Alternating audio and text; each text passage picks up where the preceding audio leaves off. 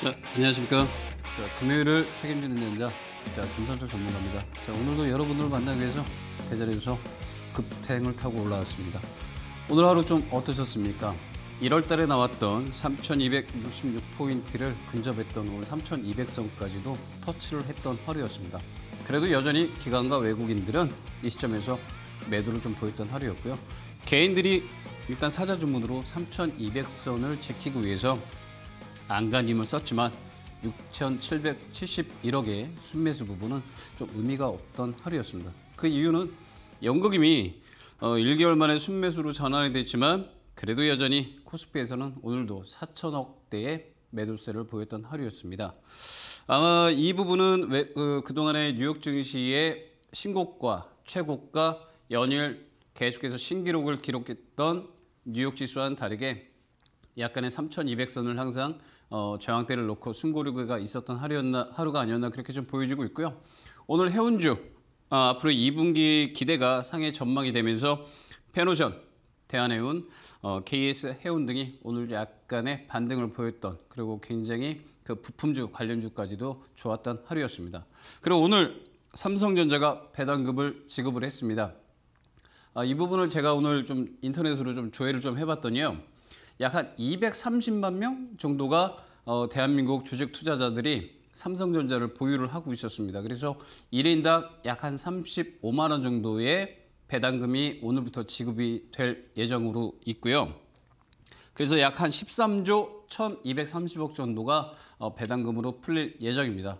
이번에서 배당금을 받으시는 우리 삼성전자 투자자분들 그동안에 마음 고생하셨고 축하드리고요.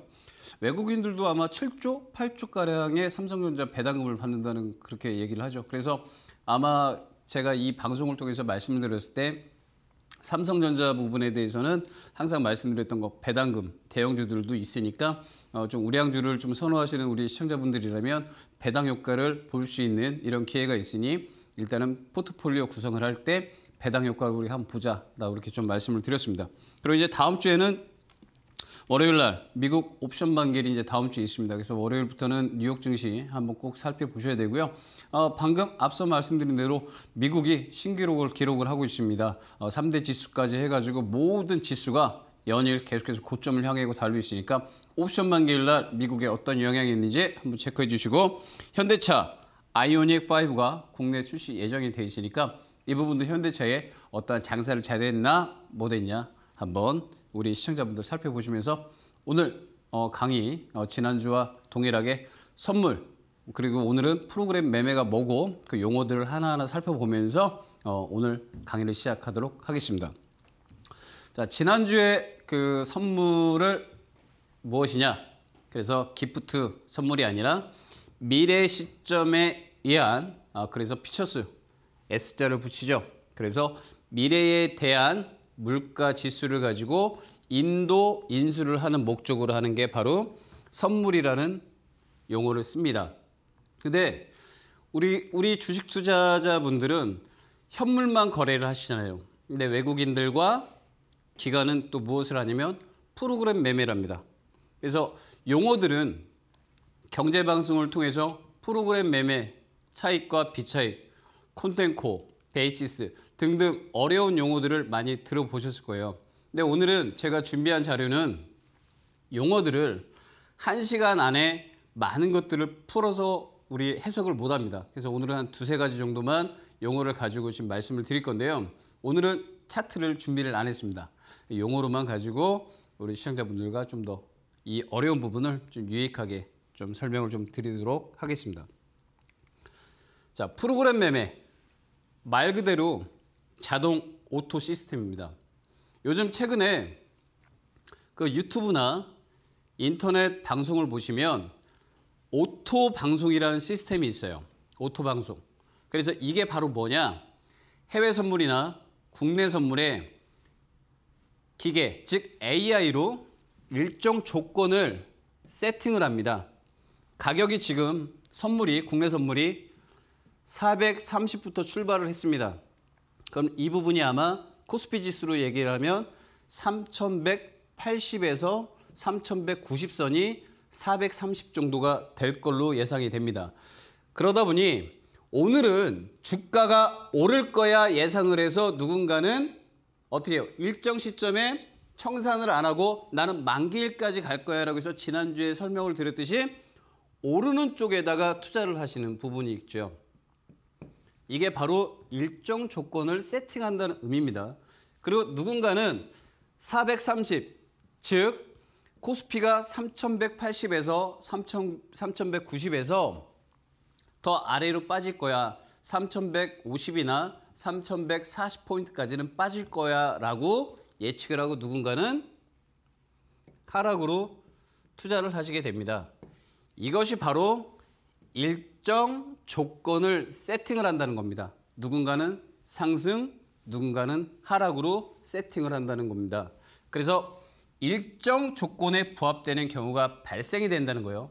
방금 말씀드린 대로 이 일정 조건이 바로 오르는 쪽이냐 아래쪽이냐 해서 그런 경우가 발생이 될 때 사람이 현물로 HTS에 있는 현재가 매매창에 매수와 매도를 하는 게 아니라 즉 컴퓨터 프로그램 인공지능 AI가 자동적으로 매수와 매도가 되는 것을 프로그램 매매라고 합니다.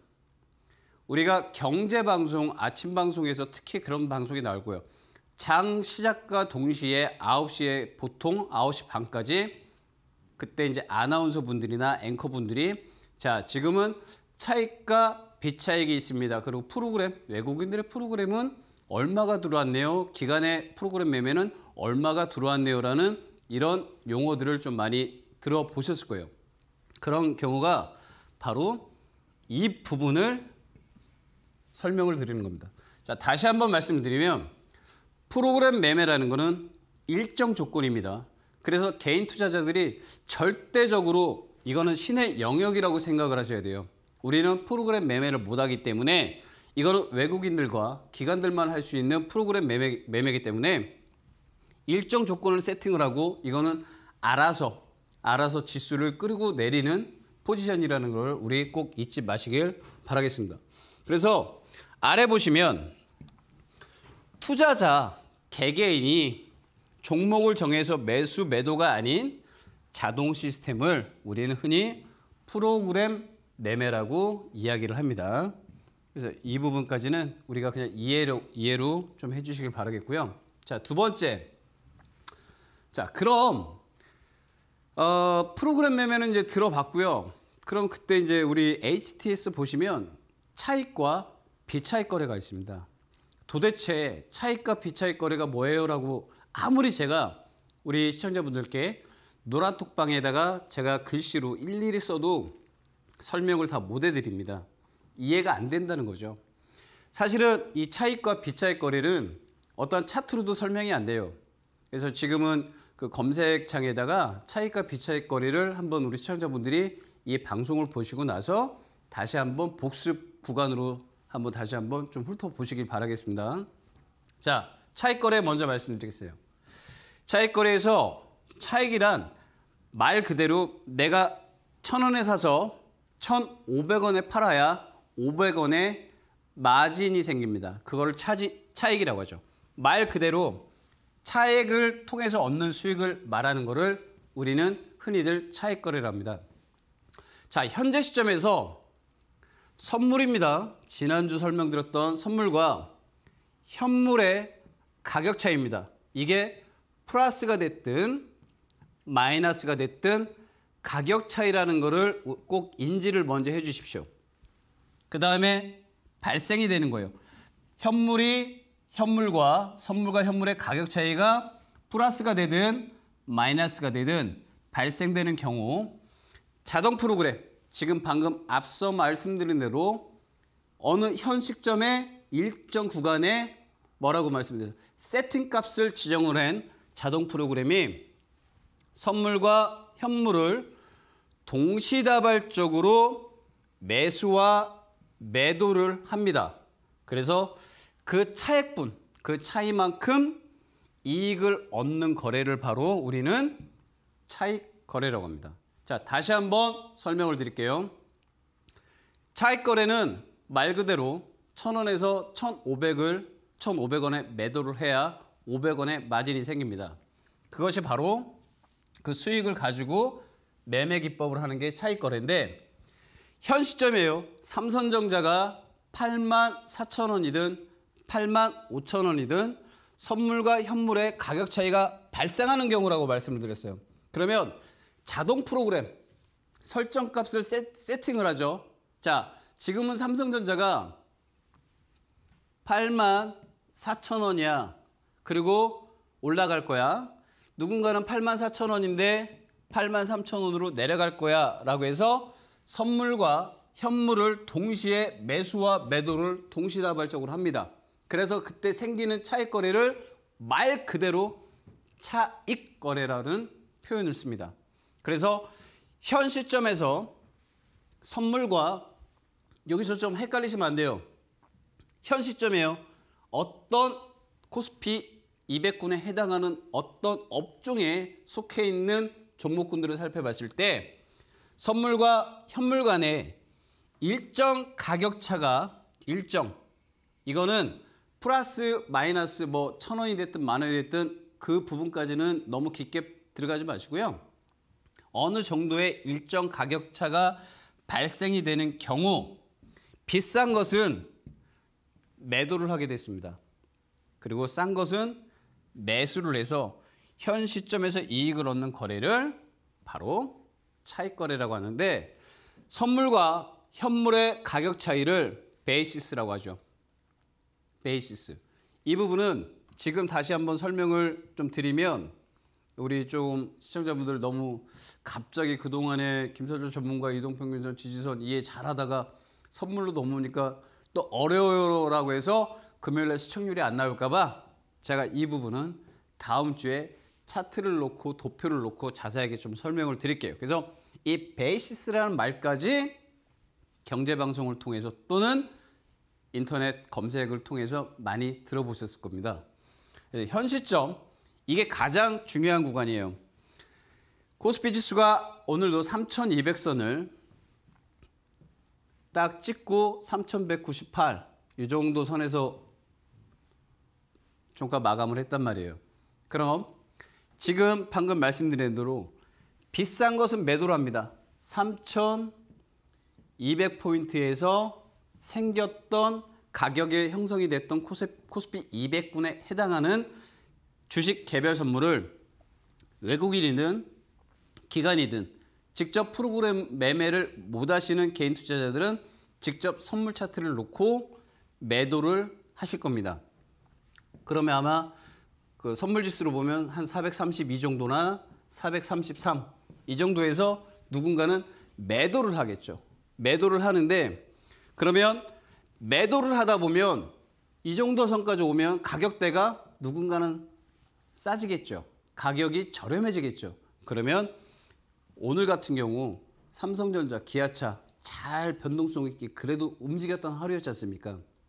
그러면 싼 것은 현금으로 매수를 합니다. 그래서 선물과 현물의 가격 차이를 우리는 베이시스라는 말 표현을 씁니다.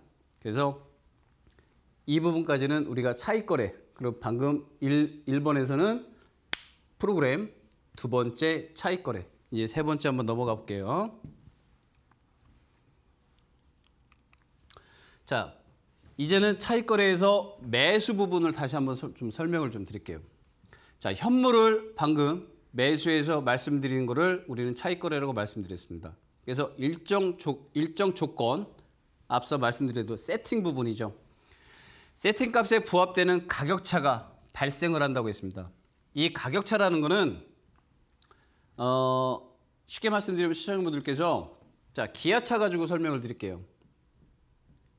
기아를 가지고 설명을 할 때 가격차가 발생이 된다고 했어요. 자, 이 부분까지만 이해를 하십시오.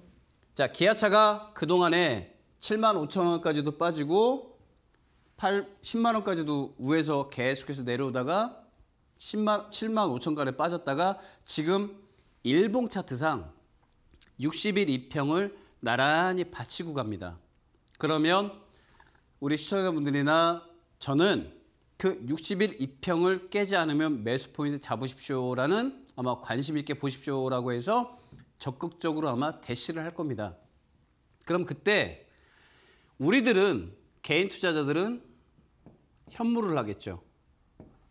방금 말씀드린 기관이나 외인은 프로그램 매매를 할 겁니다.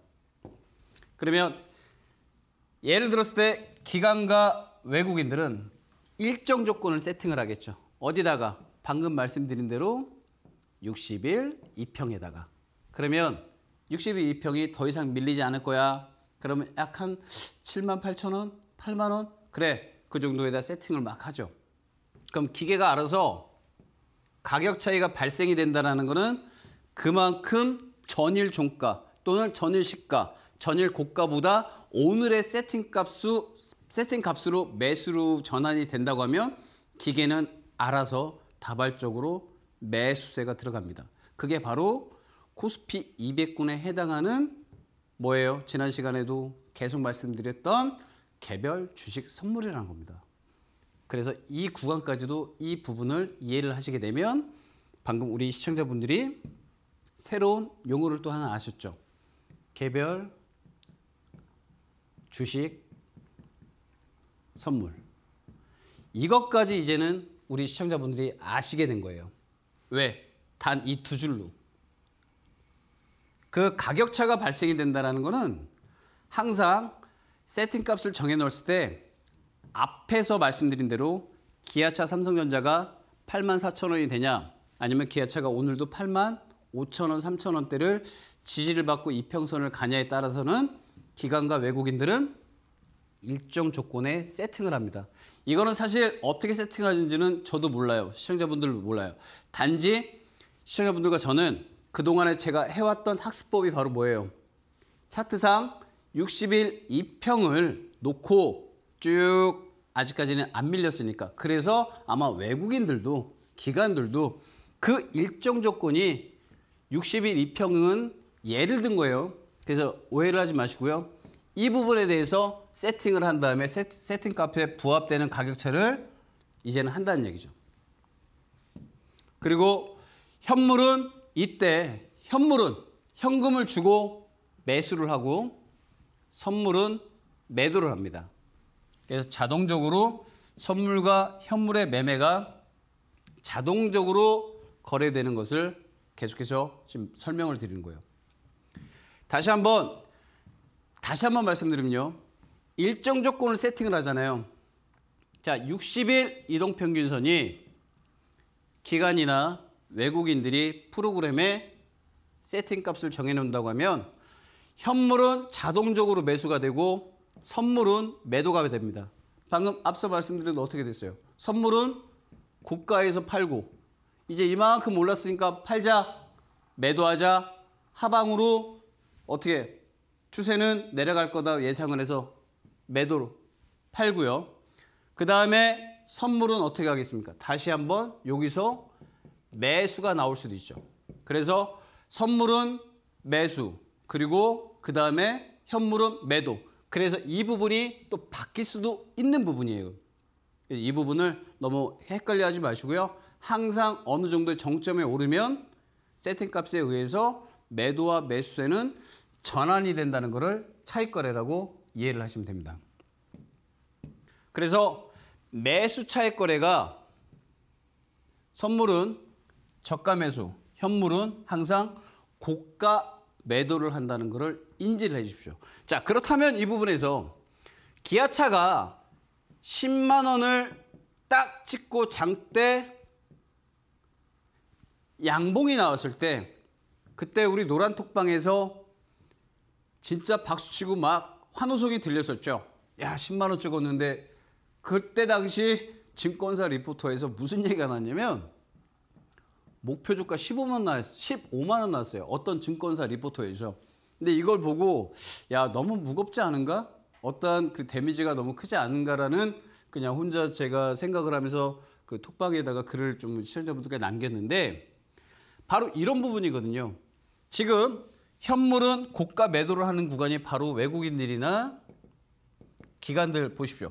그때 2월 달이잖아요. 3월 달에 어, 기아차가 신고가를 찍었을 때 고, 고점 보세요. 고점. 이 부분에서 외국인과 기관의 물량이 어느 정도 많이 나왔는지 꼭 한번 보세요. 그 HTS상에서는 6개월, 1년까지 과거 데이터 볼 수 있으니까 이 방송을 보신 시청자분들은 이 말이 틀린지 꼭 한번 보시란 얘기예요. 그래서 어떻게 됐어요? 음봉이 그 다음 날부터는 계속해서 아니, 양봉이 그 다음 날부터는 계속 음봉으로 전환이 되면서 바뀌었지 않습니까? 그러다 보니까 현물은 계속해서 고가 매도가 되고 선물은 이 밑에서 계속해서 매수로 전환이 된 거죠. 어떻게? 저가 매수로. 그러다 보니까 차익 거래가 바로 이 부분에서 발생이 되는 거예요. 지난 시간에도 말씀드렸죠. 현재가 창을 보면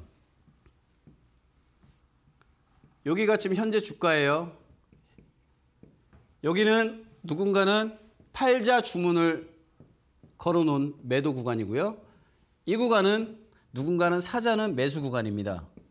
그런데 이 부분에서 갑자기 매매창을 보니까 기아차가 한 주 한 주 한 주 계속 이래요. 호가가. 한 주 팔고 한 주 사고 한 주 팔고. 이게 바로 우리가 인식되는 개별 선물 주식이라고 생각을 하시면 돼요.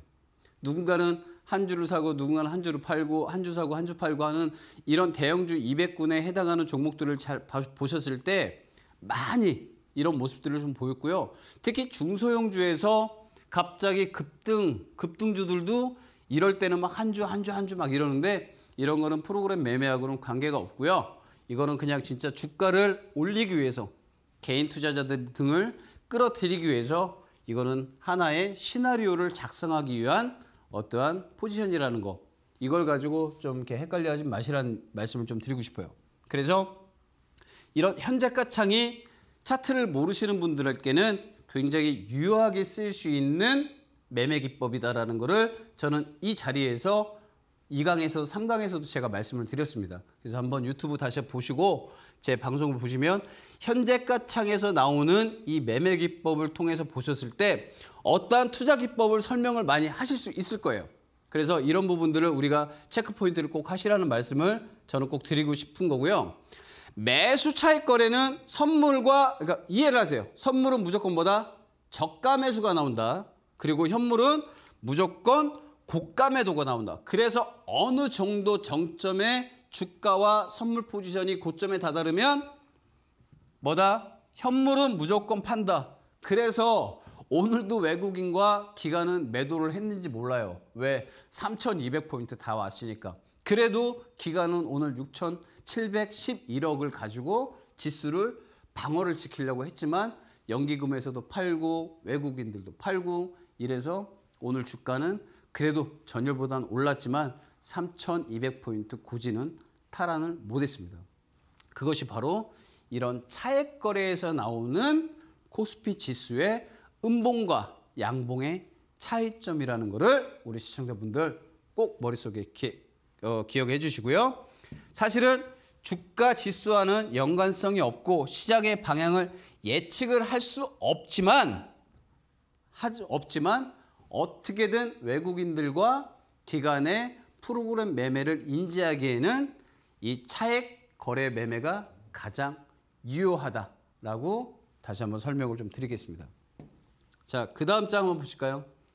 자, 비차익 거래입니다. 방금 앞서 마, 말씀드린 대로 차익 거래는 내가 천 원에 사서 천오백 원에 매도를 해야 오백 원의 차익이 생기는 것을 차익 거래라고 하지만 비차익 거래라는 것은 차익이 없다는 의미로 지금 차익이 발생되는 거래가 아닙니다. 그래서 이 부분이 차익 거래와는 많은 차이점이 있죠. 자, 그리고 이거는요. 가장 중요한 거는 현물로만 대상을 합니다.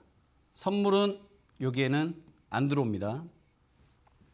그리고 여러 개의 종목을 묶어 대량으로 주문을 내는 것. 그래서 제가 항상 바스켓 바스켓 그랬잖아요. 여기서 이 스튜디오에서 제가 시청자분들께 자 외국인들하고 기간은 어떻게 돼요?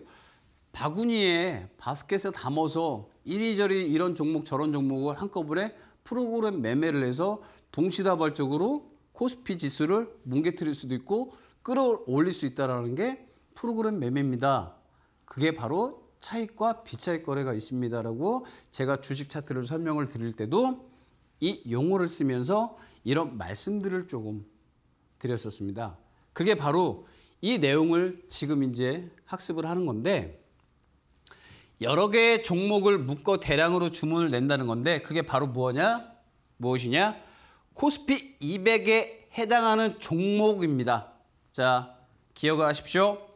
코스피 200군에 해당하는 대형주를 가지고 15개 이상입니다. 종목을 하나로 묶습니다. 삼전, 기아, SK 하이닉스, 미래에셋대우, 기아차, 현대차 등등 자 대기업에 속하는 코스피 200군에 해당하는 기업들 15개 이상의 종목을 하나로 묶습니다. 그래서 동시에 매매를 하는 거죠. 동시다발적으로. 15개 이상의 종목군들을 여기에 담습니다. 바구니에.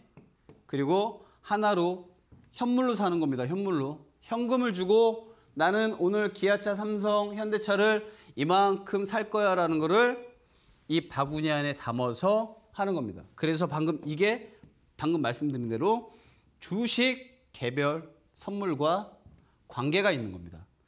대표적으로 우량주 15개 종목을 무조건 기초로 한다는 거. 무조건 기초로 한다는 거. 전에도 말씀드렸죠. 증권사 입사를 하게 되면 증권투자 상담사, 자산운용사 시험을 보는데 가장 기본적인, 기초적인 이런 것들도 그 책자에 나와 있어요. 우리가 인터넷 검색을 해서 그 어떤 그 주식 용어나 그 그 다음에 이제 차트 기법을 검색을 했을 때 이런 것들을 아마 우리 시청자분들 많이 보셨을 거예요.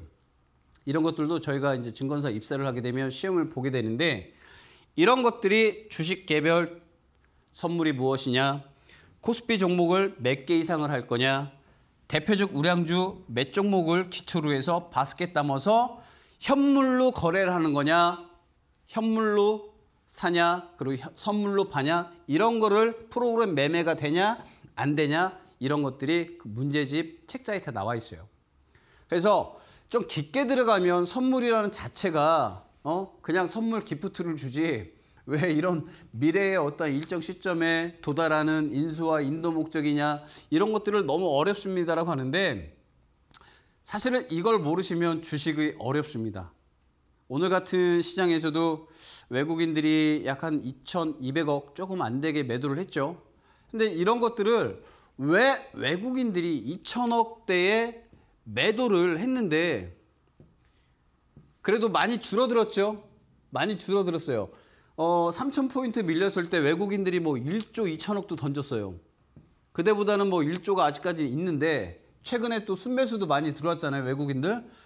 그런데도 아직까지 1조 중에서 2천억 막 남기고 8천억은 그대로 보유를 하고 있다고 했을 때 2천억이 바스켓 안에서 매도를 했는지 다른 쪽에서는 매수를 했는지를 우리 투자자, 우리 시청자분들이 이거를 꼭 체크를 하셔야 된다는 거예요.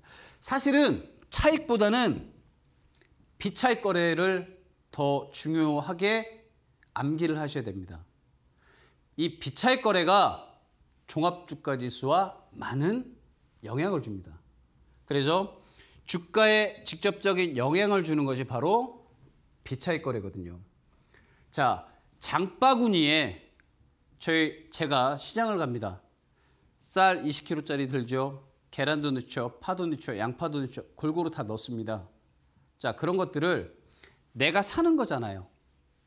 이 샀을 때 과연 이 물량이 어느 정도 그 다음에 오를 수 있는지를 예측을 하는 단지 제가 여기서 시장이라는 거는 제가 소비하기 위해서 사는 거지만 외국인들이나 기관들이 15개 이상의 종목군들을 장바구니에 담아서 샀을 경우에 나타나는 수급 주체 이거를 바로 포지션이라고 하잖아요. 삼성전자 오늘 외국인들의 수급이 어때요? 라는 게 바로 이런 거에서 나오는 거예요. 자, 기아차 수급이 오늘 외국인들과 기관의 수급이 어때요? 라는 게 바로 이런 거거든요. 자, 이해하시겠죠? 이해하시겠죠? 자, 그렇다면 이런 구간들을 우리가 빠졌을 때 차익 거래의 큰 차이점 이거를 꼭 한번 보시고요. 차익 거래보다는 비차익이 정말 중요해요. 왜? 방금 말씀드린 대로 주가의 직접적인 영향이라고 말씀드렸잖아요. 오르고 내리고 왜? 장바구니에 이만큼 담아서 너나 할거 없이 사고 팔과 자 오늘은 한번 주가를 올려볼까? 자 너 삼성전자 담어, 기아차 담어, 현대차 담어 하는 게 바로 이런 비차익 거래에서 나오는 거예요. 그래서 외인과 기간의 시장 방향성을 예측을 참고로 사용을 하는 게 바로 이 비차익 거래입니다. 다시 한번 정리를 해드린다면 비차익 거래는 차익이 없습니다. 전혀 없어요. 전혀 지금은 없어요. 단지 바스켓 안에 들어있는 종목을 사서 나중에 팔았을 때 차익이지만 지금 시점에서는 차익이 없는 현 시점 구간을 말씀을 드리는 겁니다. 오늘 4월 16일이면 어제 4월 15일에 바스켓으로 해서 샀던 종목을 오늘 팔면은 그게 바로 차익 거래에서 나올 수 있는 발생되는 거지만 현 시점에서는 아직 차익분이 생기지 않았기 때문에 비차익이라는 말이 두고 차익에서는 선물, 현물과 같이 동시다발적으로 이루어지지만 이 차익 거래는 무조건 뭘로만 한다? 현금 장사로만 해서 하는 프로그램이다 하는 거를 꼭 인지를 해 주십시오. 이 부분. 그래서 여러 개 방금 말씀드린 대로 15개 이상의 코스피 200에 해당하는 종목 중에 15개 종목을 선별을 해서 하나로 묶어서 합니다. 그래서 이걸 바로 주식 개별 선물이라고 표현을 합니다. 그래서 대표적인 우량 주면 지금 오늘부터 아까 말씀드린 삼성전자가 어, 배당이 시작이 됐잖아요. 그래서 대표적 우량주. 그래서 아마 외국인들과 기관 같은 경우는요. 이 대표적 우량주라고 했을 경우에는 배당을 장사를 잘 할 걸로 예상을 하는 회사에 투자를 합니다. 비차익 거래에서도 그래서 배당을 받으려고 배당 기산일 안에 무조건 매수를 하죠. 그게 연말 12월 연말에 이제 배당 기산일이 돼서 그때 무조건 매수를 해야 오늘 이렇게 이사분기가 되는 시점에서 배당금을 이제 받, 받잖아요. 그래서 이런 효과까지도 일거양득이라고 해서 외국인들과 기관은 꼭 대표적인 우량주 하는데 배당금을 많이 주는 회사에 투자를 많이 합니다. 특히 차익거래, 비차익거래에서는요. 배당금을 많은, 많이 주는 회사에도 특히 투자를 많이 하기 때문에 우리 개인 투자자분들, 시청자분들, 저랑 함께하는 노란, 노란 톡방에 있는 우리 시청자분들까지도 이것까지도 인지를 하셔야 된다는 거예요. 하나로만. 여기서 제가 그동안의 차트만 보다가 갑자기 글씨로만 막 쓰다 보니까 이해가 안 되실 수도 있겠지만 이제는 이런 게 되게 중요하다는 거예요. 왜? 3,200포인트 올라왔고 1월 달에 3,266.89인가요? 이 포인트부터 우리는 3,000포인트가 내려오는 250포인트가 넘게 하락하는 그런 모습도 봤어요. 그럴 때 외국인들은 선물과 현물과 해지를 한다고 제가 말씀드렸죠. 이게 바로 차익과 비차익 거래입니다. 프로그램 매매요. 뭐 콘텐코가 어째요, 베이시스가 어째요. 이거 시청자분들 솔직히 모르셔도 돼요. 모르셔도 돼요. 정말 모르셔도 돼요. 그래서 제가 이 비차익에 대해서 계속 설명을 드리는 게 뭐냐면 주가에 직접적인 영향이 있기 때문에 선물과 현물의 포지션을 보자는 얘기예요. 자, 그러면 차트 한번 제가 그려볼까요? 자, 1월 달에 3,266포인트를 찍었습니다. 그동안에 2월, 3월 달에도 3,000포인트가 주저앉았다가 겨우 지켰다가 지금 한 3,200선으로 왔다고 가정을 하고 여기가 3,000포인트라고 가정을 했을 때 자, 현물로만 산다고 했죠. 비차익 거래. 현물로만 하는 프로그램이라고 했어요. 그럼 여러 개의 종목을 묶고 대량으로 주문을 내는데 이럴 때 외국인들이 자 기아차를 예를 들었을 때 10만 원에 매수를 했습니다. 외국인 외, 외국인 누군가가 미국에 있는 A라는 기업이 야 이거 보니까 갑자기 뉴욕 증시가 폭락을 하고 미국 국채 금리가 1.7% 상승을 한대. 그러면 기술주 나스닥 같은 경우들이 줄줄이 대거 폭락을 합니다. 그러면 외국인들은 그동안에 15개 종목을 바구니에 담아있던 종목들을 어떻게 합니까? 현물로만 하는 프로그램으로 어떻게 합니까? 하락하는 곳으로 투자를 하죠. 이것이 바로 프로그램 매매의 특히 선물의 매도죠. 그리고 이 부분이 성질이 비슷한 게 뭐예요? 오늘도 노란 톡방에 저한테 그 질문하시는 회, 그 시청자분들 한 분 계시는데 그분이 뭐라고 하셨어요? ETF죠. 상장지수 펀드잖아요. 여기서도 뭐가 있어요? KODEX inverse와 KODEX leverage가 있잖아요. 상장 지수 코스피 200군에 따라서 inverse는 뭐예요? 하락할 때 수익이고 leverage는 올라갈 때 수익이잖아요. 그래서 선물에 자신이 없는 우리 시청자분들 제가 뭐라고 말씀드렸어요? leverage와 inverse를 하라고 말씀드렸잖아요. 왜 어렵게 자꾸 그 증거금 들어가는 그 선물 계좌 뭐 해외 선물 저 무섭습니다. 그럼 하지 마세요. 절대 하지 마시고 inverse와 leverage를 가지고 매매를 하시는데 자 오늘 같은 경우에 leverage는 올랐죠. 그 다음에 inverse는 어떻게 됐어요? 하락했죠. 하지만 inverse 어떻게 됐어요? 왜? 3,200포인트, 3,150포인트를, 3,190포인트를 가정을 했을 때 이 10포인트 갭이 발생이 됐을 때는 inverse는 어떻게 됐어요? 하락을 할 때 수익이잖아요. 자, 여기서 매수를 해서 inverse 나는 하락에, 하락하는 곳에다가 투자를 할 거야. 그러면 inverse가 한 3,100원이라고 했을 때 3,100원에 매수를 했으면 3,200원까지 올라가는 추세가 뭐예요?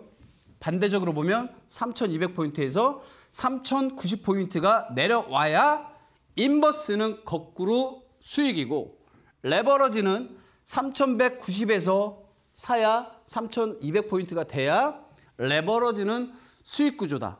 이게 바로 항상 제가 누누이 말씀드리는 선물에 대한 인지라는 말이에요. 여기까지는 굉장히 간단합니다.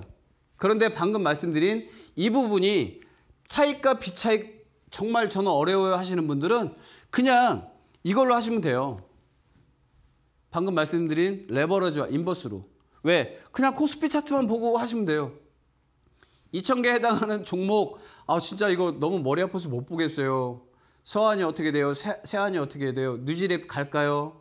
이런 질문보다는 leverage와 inverse는 코스피 200 차트를 놓고 종목군들이 설정되는 걸 보고 움직이기 때문에 레버러지와 인버스를 놓고 ETF를 하신다고 하면 오히려 우리 시청자분들 지금 주식 가지고 하시는 그 매매 기법보다는 더 유익하지 않을까 생각합니다.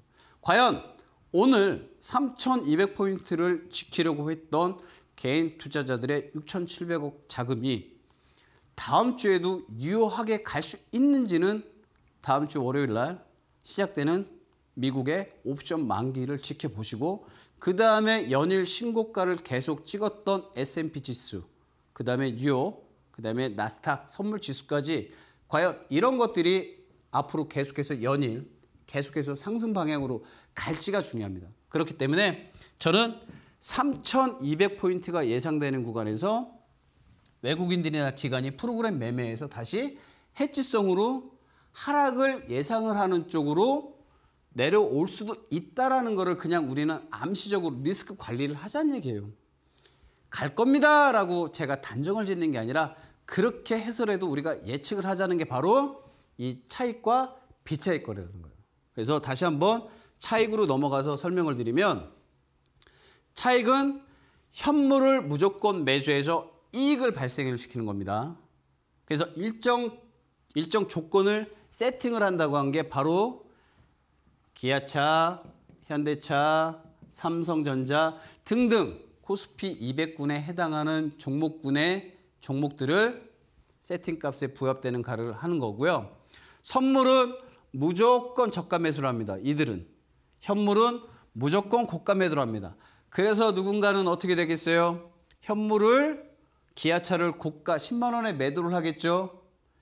이게 바로 수익 구조가 나왔을 때 장대 양봉이 발생됐는데 여기서 10만 원대에서 매도 물량이 쭉쭉 떨어졌으니까 그 다음날 어떻게 됐어요? 음봉이 발생이 됐잖아요. 이게 바로 현물의 고가 매도라는 거 인식을 인지를 해주시고요.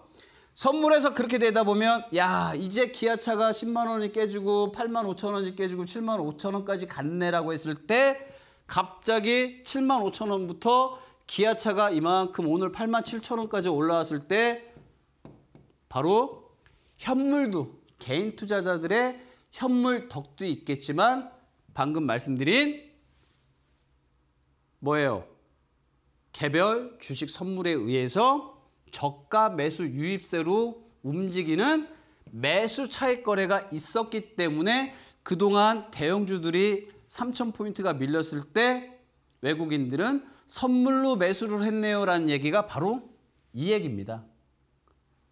이해하셨죠? 얼마나 쉽게 설명을 드려요. 더 이상 어떻게? 이게 인터넷에서 검색을 하시면요. 좀 많이 어려울 수도 있고 좀 어지러울 수도 있는데 이런 구간들을 이해를 하시면 됩니다. 아시겠죠? 그래서 항상 음봉이 나오는 자리, 양봉이 나오는 자리, 외국인들이 삼성전자 기아차를 왜 음봉을 만드는지, 왜 양봉을 만들었는지 오늘 방금 말씀드렸잖아요. 외국인들이 2천억을 매도를 했어요. 그 2천억이 상위 코스피 상위 200군에 해당하는 종목들 순서를 보세요. 오늘 외국인들이 어느 종목에 매도를 많이 했고 기간이 어디서 매도를 했고 매수를 했는지 그 HTS 다 나오잖아요. 그걸 보시면 2,200억이라는 금액을 어떤 종목을 매도를 했는지 다 보시는 게 바로 이 매수 차익 거래와 지금 말씀드린 비차익 거래라는 거예요. 우리 시청자분들 이해하셨죠? 그래서 이런 구간 저런 구간 다 필요 없어요. 그래서 비차익 거래는 주식시장과 무조건 동일하다고 제가 지금 설명을 드리기 위해서 차익과 비차익 거래에 대해서 많은 이 한 시간 짧은 시간 동안에 많은 부분을 좀 차지를 한 거예요. 나머지 시간은 비차익 거래는 주식시장과 동일하다라는 거를 한번 우리 읽어보면서 어 이제 천천히 시간을 마감을 할 텐데 자 외국인들이나 기관은 시장 상황이 좋고 나쁨을 판단이 된다면 매수와 매도를 반복을 하게 됩니다. 따라서 비차익 거래의 매수 잔량과 매도 잔량의 차이를 보면 기관과 외국인이 예측하는 시장의 방향을 알 수 있을 겁니다라고 예측을 하는 것이 바로 비차익 거래는 주식시장의 방향성을 알 수 있다. 그래서 방금 말씀드린 대로 외국인들이 오늘 2,100억 정도의 매도 위를 보였습니다. 자, 기간은 4천억 정도 가량의 매도 위를 보였습니다. 그래서 오늘 우리 시청자분들이 공부를 하셔야 될 게 주말에 항상 저하고 약속을 했죠. 한 시간 동안 HTS를 열어놓고 공부하십시오. 자, 오늘 금요일 날 외국인들이 2,100억을 어느 종목을 매도를 했는지 보시고요. 기간이 4천억 매도를 했는데 어디에다가 매도를 했는지 보시오. 그래서 그것이 바로 외국인과 기관의 시장의 방향을 우리는 예측을 할 수 있다는 거예요. 자, 개인 투자자들이 예측을 할 수 있는 거는 바로 뭐다? 기관과 외국인들이 어떻게 어떤 물량, 어떤 종목, 어떤 섹터, 어떤 테마를 사고 팔았나를 보시라는 얘기예요. 그래야 시장을 우리는 조금 더 전문가들한테 의존을 안 하고 의지를 안 하고 혼자 이제는 조금이나마 판단을 할 겁니다. 그러면 제가 우리 시청자분들께 정말 좀더 유익한 유익한 그 부분을 하나 말씀드리면 매수 잔량이 여기서 말씀드렸죠. 시장 상황 좋고 나쁘고를 떠나서 매수와 매도를 누구든지 다 반복을 합니다. 그럴 때 매도 잔량이 매수 잔량이 매도 잔량보다 많을 때는 시장의 방향은 상승으로 예측을 합니다. 자, 이제 끌어올려 봅시다. 자, 바스켓 안에 우리 15개 종목 이상의 대형주, 우량주를 담았어. 빗자의 거래에서 이만큼 우리가 지금은 차액은 못 보겠지만 지수가 어느 정도 올려주면 외국인들은 던져요. 자, 오늘 개인 투자자들이 졌습니다. 아마 오늘 주식을 이만큼 끌어올린 그 개인 투자자들은 외국인들 기관 물량을 다 받아, 받았어요. 그렇기 때문에 개인 투자자들은 오늘 졌어요. 로즈가 된 거예요. 위는 오늘 외국인이에요. 왜? 그들은 오늘도 선물에서는 매도로 해지를 했고 옵션에서 하락으로 예상되는 쪽으로 투자, 즉 배팅을 했다는 얘기예요. 이런 거를 우리가 보셔야 앞서 말씀드린 대로 시장의 방향을 예측을 할 수 있다는 얘기예요. 무조건 차트만 가지고도 예측을 할 수 있지만 그 차트 속에 뭐가 다 있다라고 말씀드렸어요. 이런 글귀와 내용들이 다 있다. 기업의 재무구조 손익계산서가 다 어디에 있다? 차트에 있다. 차트는 후행성이지만 이런 내용들을 다 인지를 하고 있다는 것을 말씀을 드리고 싶습니다. 그래서 우리가 꼭 놓치고 말아야 될 부분이 매수 잔량이 매도 잔량보다 많을 때는요. 시장의 방향은 상승으로 갈 수 있다는 것을 꼭 머릿속에 놓으시고 매수 잔량이 매도 잔량보다 약할 때는요. 시장의 방향은 하락으로 예측을 한다 라고 해서 제가 뭘 보시라고 한 게 시가총액 상위 20위 안에 드는 종목이 기관과 외국인들은 서로 매수와 매도를 자전 거래를 왕복으로 계속합니다. 만약에 SK 하이닉스를 100억대를 오늘 외국인들이 팔았으면 그 물량을 오늘은 기관이 살 수도 있고요. 기관이 매도를 하면 외국인들이 또 매수를 할 수 있습니다. 그런데 거기서 또 개인 투자자들도 매수와 매도로 반복을 하겠죠. 이제는 개인 투자자들도 전문 지식이 굉장히 많아져서요. 외국인들을 옛날처럼 안 따라갑니다. 예전에는 오늘 삼성전자가 4만 원일 때, 야, 삼성전자가 벌써 4만 원이야? 5만 원이야? 6만 원 하다 보니까 오늘 외국인들이 천억을 살 때, 그래? 그럼 이제 나도 따라서 외국인 따라서 가야 되나? 그게 바로 뭐예요? 우리는 아무것도 몰랐을 때 수급의 주체 하나만 의존하고 매매를 했어요. 근데 지금은 워낙에 개인 투자자들도 차트를 잘 보시는 분들도 있고 선물을 많이 하시는 분들도 생겼기 때문에 이런 차익과 비차익 거래에서 매수 잔량이 매도 잔량에 의해서 시장의 방향성을 존재를 한다는 투자자분들이나 시청자분들이 많이 생기셨습니다. 그래서 외국인들의 따라가기가 아니라 이제는 수급도 중요하지가 않아요. 이제는 우리 시청자분들이 뭘 봐야 된다? 차익과 비차익과 프로그램을 보시되 콘덴코나 베이시스나 이런 어려운 용어 단어보다는 비차익과 차익 거래 오늘 굉장히 중요합니다. 이 구간 꼭 보셔야 돼요. 자, 다시 한번 설명을 드리면 외국인과 기관의 시장 상황, 좋고 나쁨을 판단을 했을 때 매수와 매도는 계속 반복이 된다. 그래서 어떻게 된다? 상승과 하락, 즉 M자와 W자는 뭘로 만든다? 기간의 예측으로 시장의 방향을 잡는다. 자, 이래서 자, 앞으로 이런 부분을 우리가 용어는 용어는 굉장히 어렵지만 우리 시청자분들 오늘 공부하신 프로그램 매매가 무엇이고 차익 거래, 비차익 거래 그리고 방금 말씀드린 대로 기아차가 음봉이 나오든 양봉이 나오든 이런 부분들을 좀 한번 주말에 꼭 부탁해요. 꼭 좀 공부 좀 해주세요, 진짜. 그래서 자꾸 이상한 질문을 하지 마시고요. 꼭 한번 봐주길 바라겠고요. 자, 오늘 그래도 3,200을 탈환할 줄 알았는데 좀 아쉬웠던 하루였지만 그래도 이제 봄이 안연하게 찾아왔습니다. 오늘도 가족분들과 편안한 주말 저녁 되시고요. 저는 다음 주에 좀 더 유익한 정보를 가지고 신대가들의 투자 비법 밤 11시 다시 한번 찾아뵙겠습니다. 감사합니다.